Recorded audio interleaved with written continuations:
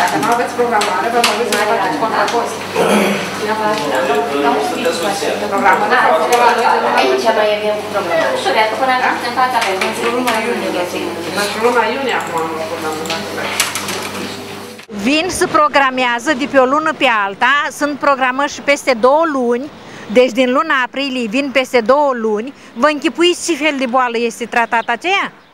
Cred că aproape două luni. Da, cu programare. Că este foarte aglomerație, e foarte multă lume bolnavă, sunt foarte scumpe. De aia ne facem, nu ne permitem să ne facem tot timpul. Nu, Era mai bine înainte, pentru că era altfel uh, o planificare în policlinică. Așa vreau, gratuit, că nu aveam bani. Pentru 400 de lei să fac ele. Iuni. Și acum mă duc să vedem, cum mi-a dat să fac și analiz și vă duc aici.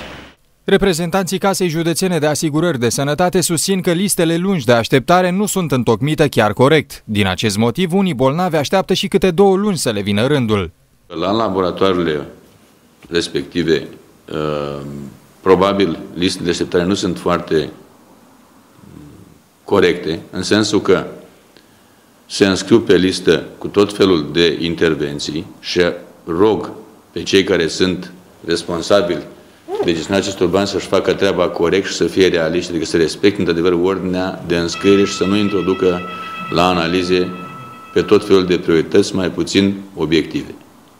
Știți foarte bine că laboratoarele nu înseamnă urgențe. Urgențele se rezolvă pe spitalizare. Dar dacă uh, s-ar respecta corect lista, nu ar fi aceste probleme, cred eu. A doua problemă pe care eu cred că, care eu cred că influențează este faptul că multe persoane, și asta e cu certitudine verificată, o să găsiți pe liste din 3 în 3 luni. Adică sunt oameni care pur și simplu uh, n-aș vrea să folosesc un termen, dar uh, pur și simplu uh, sunt excesiv de prudenți și la fiecare trei luni își fac analize de laborator. Voi verifica acest aspect și o să exclud. Uh, Sigur, medicii prescriptori trebuie să fie aici puțin mai, puțin mai exigenți. Media sumei alocată lunar laboratoarelor de analize medicale depășește 2 milioane de lei, bani ce se împart echitabil între cele 47 de laboratoare aflate în contract cu CJAS.